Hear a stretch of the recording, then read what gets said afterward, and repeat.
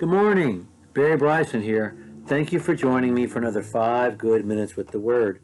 We're continuing our study of Paul's co-workers, and today we're talking about Epaphras. There are two men that we know not from the book of Acts, but from Paul's letters, who are important co-workers of the Apostle Paul. One is named Epaphras, and the other is named Epaphroditus. And although those are forms of the same name, these are two different men who are associated with two different congregations. And so we want to talk about them both because they're important examples. Um, and uh, we want to talk about them, them both uh, individually. Uh, we want to talk about Epaphras today. Epaphras is known solely from the Colossian correspondence.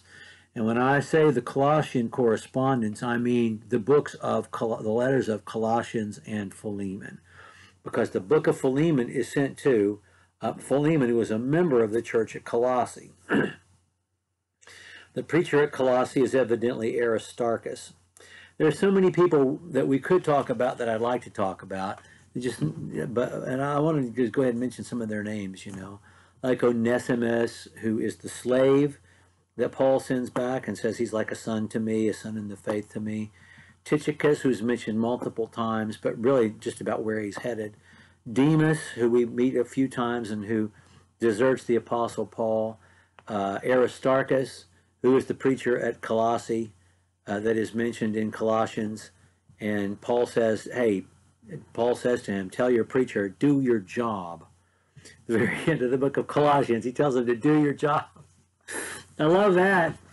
Um, and uh, Archippus, um, Philemon himself, there are just so many people to talk about. But I, but I want to take a little bit of time to talk about Epaphras and Epaphroditus uh, because they are two different men and they're important at two different congregations. Um, uh, and we know uh, uh Epaphras from the Colossian correspondence. And this is what we know about Epaphras from the Colossian correspondence.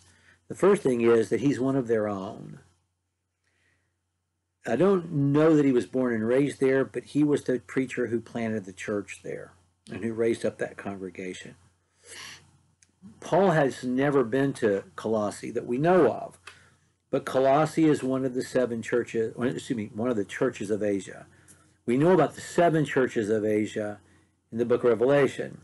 Colossae is not mentioned there, but we know two other congregations in Asia, from Asia, that are not mentioned in the book of Revelation. One is Colossae, and they get a letter. The other is Hierapolis, and they're mentioned multiple places, and they're mentioned in the Colossian correspondence.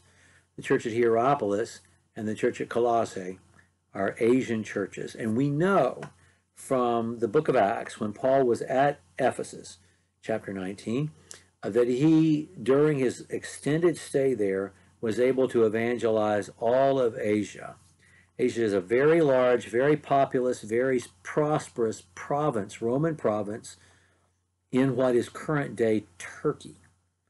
And, um, and, and Colossae is there. We don't know that Paul visited there. We don't know that he didn't, but he didn't have a work there the way he had to work at Ephesus.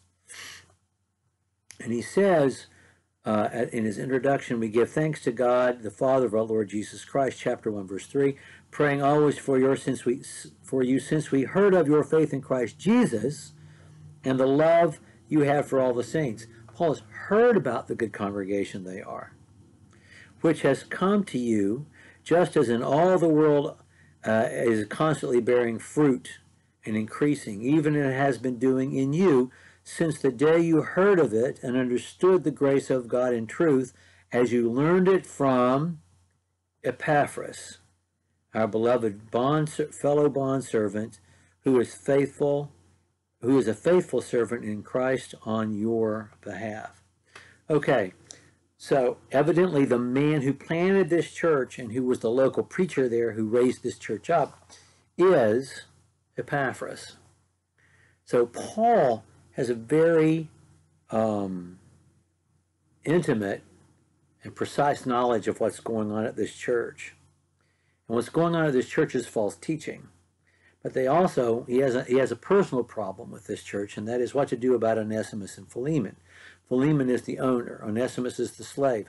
Onesimus ends up in jail with Paul and is converted by Paul. And is now released and Paul is sending him back. And he wants him treated like a brother in Christ. In fact, he wants Philemon to free him and to send him back to serve Paul. But Paul's in jail and he can't affect all this. And so he writes this letter.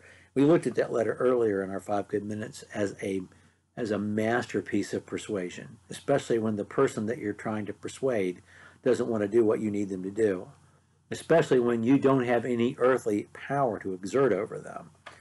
Um, where did he get all this information? did he get it from Onesimus?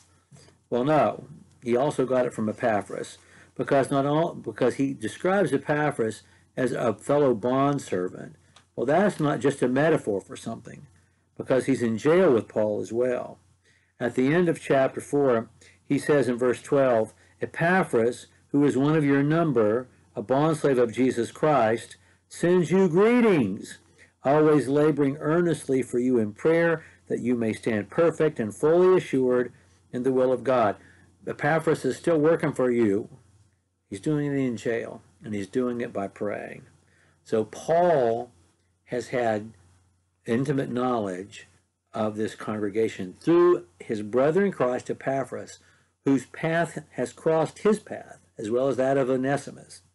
And one assumes that this all is piece, part of the same event uh, in jail. and God has brought them together in jail to serve the church at large.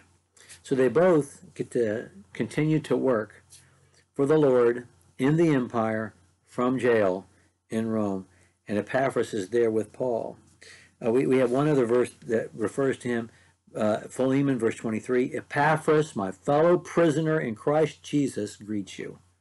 So, in case we wondered whether, you know, fellow bondservant was a metaphor for anything, no. He's in jail with me, and he sends you greetings. So, they really are in jail together. Um, anyway. That's what we know about Epaphras. Next time we'll talk about Epaphroditus. Thank you for joining me for five good minutes.